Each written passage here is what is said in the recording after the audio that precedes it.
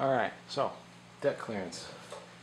Got number one piston in, deck bridge set up, uh, indicator zeroed on the deck, at least it should be. Uh, bring this back.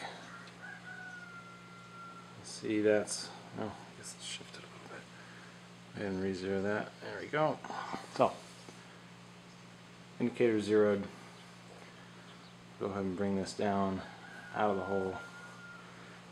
Bring the bridge over. So there. And we will bring piston up to its highest point.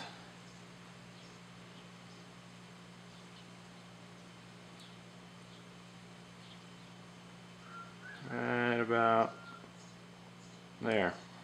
So, right here, bring it back touch. Looks like it's about seven in the hole.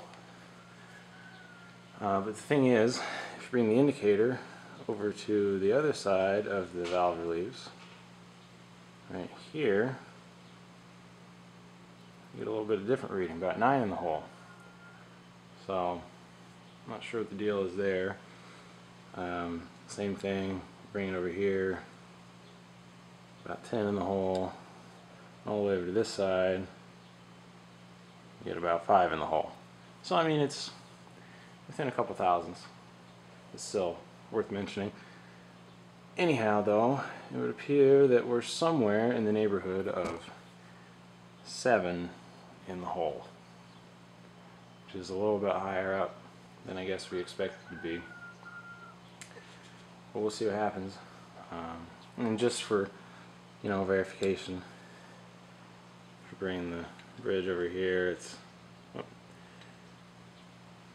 it's kind of oblique, but it's still zeroed.